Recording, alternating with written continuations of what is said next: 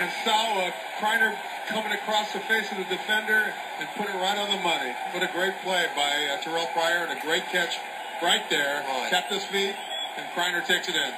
He, he's he's better when he gets out on the perimeter, Tom. When he has the dual threat of a run and throw, but he throws more accurately when he's out on the move. Well, that was a great example of a stretch play. You know,